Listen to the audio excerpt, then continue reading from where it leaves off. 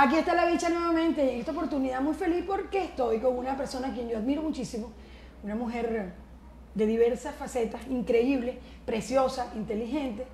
Ahora devino en escritora, siempre fue entrevistadora, periodista y además actriz, porque ahora es artista también. Se trata de María Elena Labo. Bienvenida. Bienvenida, gracias Berenice. Bienvenido tu energía siempre. Y bueno, tus palabras son del tamaño del cariño, digo yo. No, yo te, tengo, yo te debo muchísimo. Me hiciste una eh, entrañable entrevista. Con mucho gusto. Sí, señora.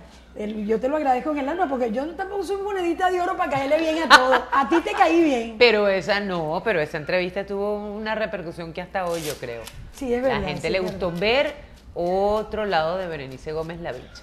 Mi amor, te fuiste de Globovisión. Sí. Muy bien. ¿En qué andas? Yo sé que escribiste un libro muy exitoso, que por cierto hoy está, le, está pasando algo muy interesante a ese libro. Gracias Padre por eso.